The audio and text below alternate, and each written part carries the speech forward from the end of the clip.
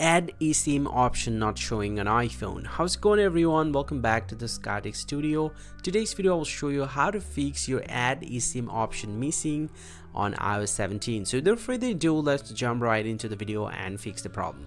So now to get back the add eSIM option on your device, the very first thing that you gotta do, is swipe down from the top and then enable the airplane mode for 10 to 20 seconds. And after that, go ahead and turn it back off.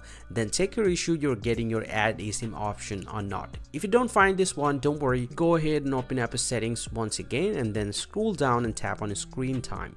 Then scroll down again and tap on content privacy restrictions and then turn off this option from here.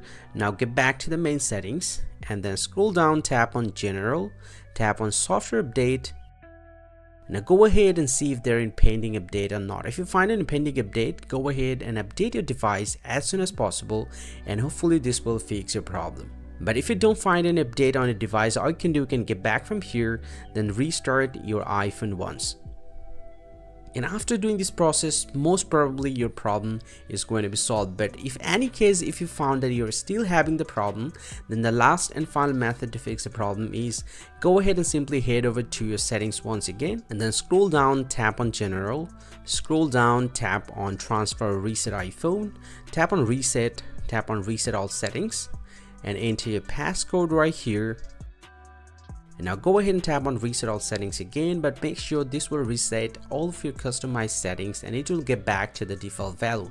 So be sure to remember your wi-fi password and other settings that you have customized. And after doing this process your iphone is going to take a restart. And once you get back hopefully your problem is going to be solved and add eSIM option will start showing on your device. So if you find this video helpful guys. If you do drop a like and subscribe to this channel. See you guys in the next video. Thank you very much for watching